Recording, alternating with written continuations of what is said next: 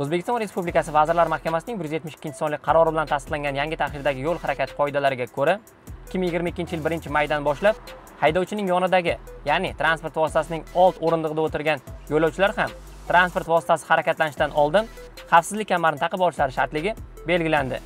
Ushbu qoidalarga ko'ra xavfsizlik kamarini taqish imkonini bermaydigan darajada kasalligi bo'lgan bemor shaxslarga xavfsizlik kamarini taqmaslikka ruxsat beriladi. Aynan ushbu kasalliklar ro'yxati sog'liqni saqlash vazirligi tomonidan tasdiqlangan bo'lib ushbu ro'yxatga ko'ra umrov va to'sh suyaklarining sinishi yelka kamarining sinishi o'pkaning surunkali obstruktiv kasalliklarining to'rtinchi bosqichi bronxial astmaning to'rtinchi bosqichi o'pkaning interstitsial zararlanishi o'pkaning bir qismi yoki butun qismi chap yoki o'ng tomoni olib tashlanishi surunkali yurak yetishmovchiligining uchinchi bosqichi va dekompensatsiya bosqichi bilan kasallanganlar xavfsizlik kamarini taqmaslikka ruxsat beriladi. Mazkur kasallik bilan kasallangan shaxslarda tibbiy ma'lumotnoma bo'lishi talab etiladi. Barcha haydovchi va yo'lovchilardan transport vositasi harakatlanishidan oldin xavfsizlik kamari taqib olishlarini so'rab qolamiz. Xavfsizlik kamari hayot garovi ekanligini unutmang.